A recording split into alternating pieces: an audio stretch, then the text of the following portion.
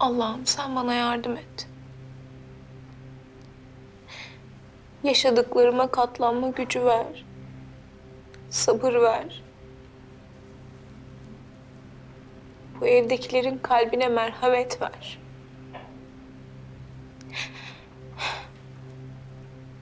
Dayıma şifa ver.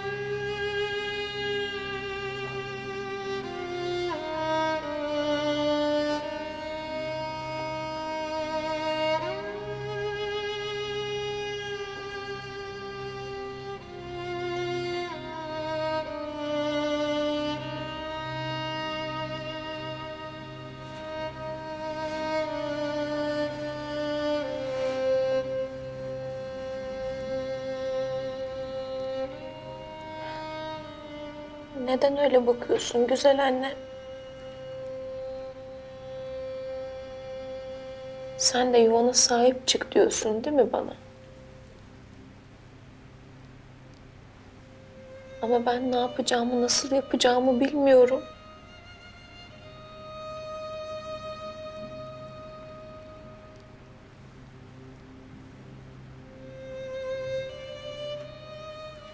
Nur yüzlü melek annem benim. Seni o kadar özledim ki.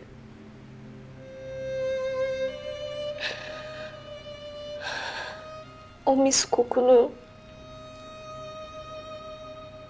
saçımı okşayan pamuk ellerini,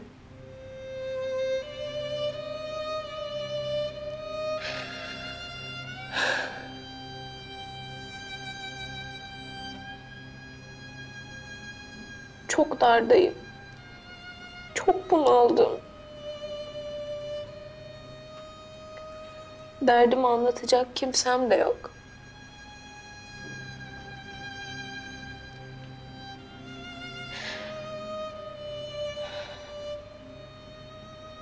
Allah'tan başka sığınacak kimsem yok.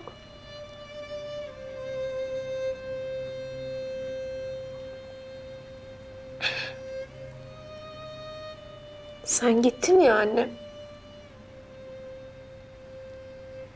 Ben duasız kaldım.